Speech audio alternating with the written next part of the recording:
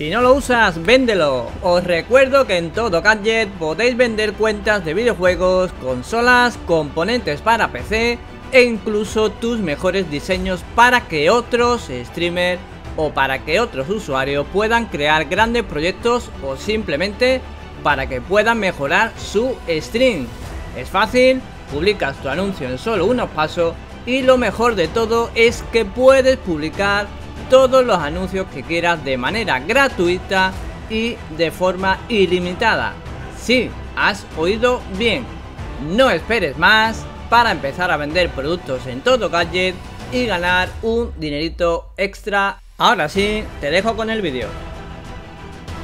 Muy buenas mis queridos amantes del hardware y la tecnología que venís aquí para informaros de las cositas más novedosas. Bueno, pues hoy estamos ante ya una filtración final de lo que va a ser las especificaciones de la RX 6600 de AMD, que al final parece ser que va a ser ligeramente inferior en cuanto a rendimiento a la RTX 3060 de Nvidia. Vamos a verlo, vamos a repasar cuáles son esas especificaciones finales y si realmente pues te va a interesar más tirar por una o tirar por otra siempre que haya stock, ¿vale?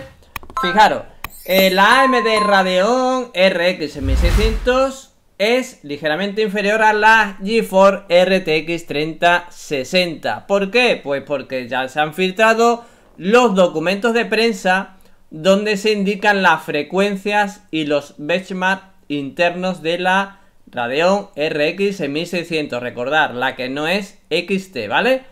Eh, confirmando así que empleará el chip gráfico Navi 23XL que vienen con 1792 Stream Processor, es decir, trae 256 menos que su hermana mayor, la 6600 XT, y viene con una frecuencia base de 2044 que subiría en turbo hasta los 2481 MHz, ¿vale? Esto era un dato que todavía no se conocía, pues según esta filtración, esto van a ser las especificaciones finales en cuanto a la frecuencia.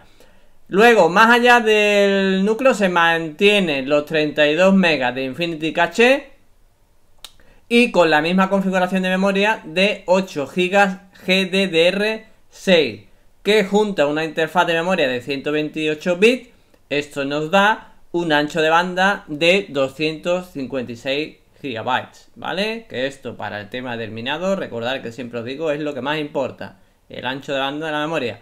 Por lo que la diferencia de rendimiento entre una RX 6600 y una RTX 3060 va a ser muy, muy pequeña. Y más bien, pues dependiendo también un poquito del juego en cuestión. Y el consumo pues va a ser muy similar. La RX 6600 va a gastar un poquito menos 132 vatios respecto a los 160 que te puede gastar, eh, por ejemplo, la RX 6700.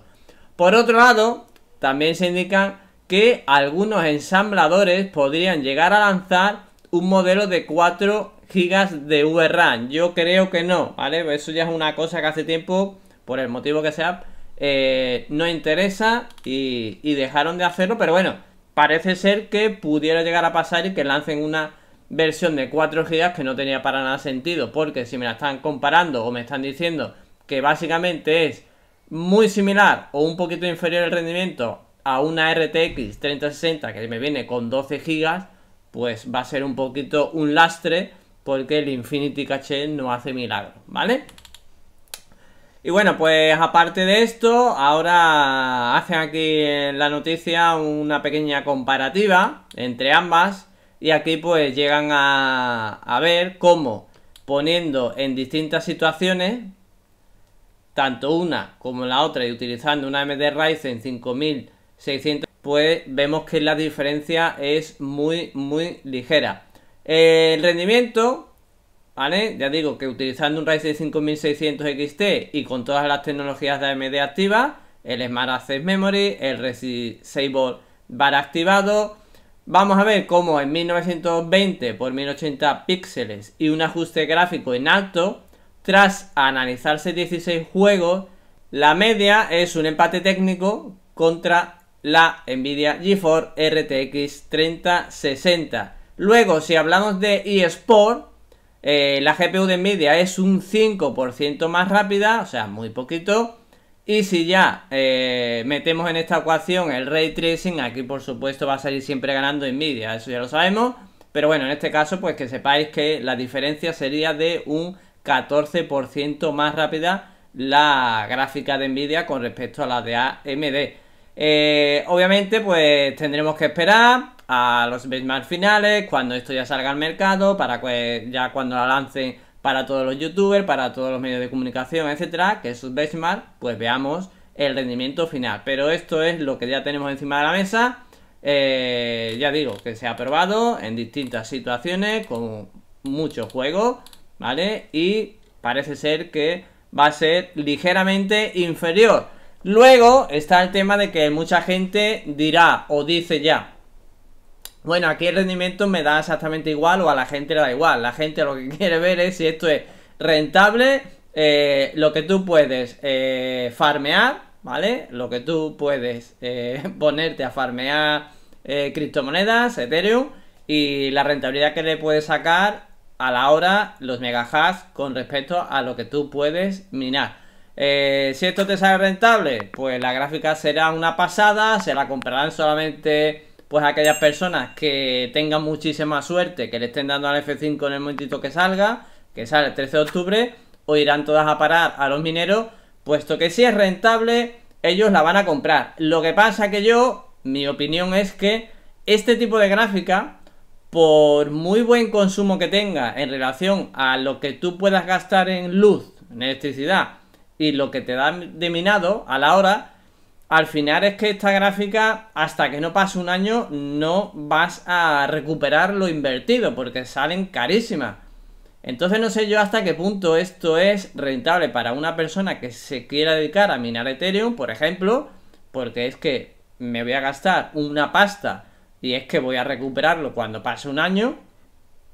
Pero bueno, que ya digo, eh, el rendimiento es este, muy parecido a una, una RTX 3060, eso sí, la gráfica de Nvidia, recordad que viene con 12 GB de memoria. Esta viene con 8 GB a la espera de que parece ser que igual sacan una de 4 GB, todavía con un poquito menos.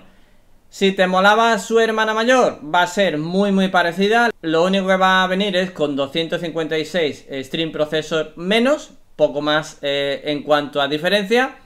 Y nada, por lo demás, esperar al 13 de octubre, que ya queda muy poquito.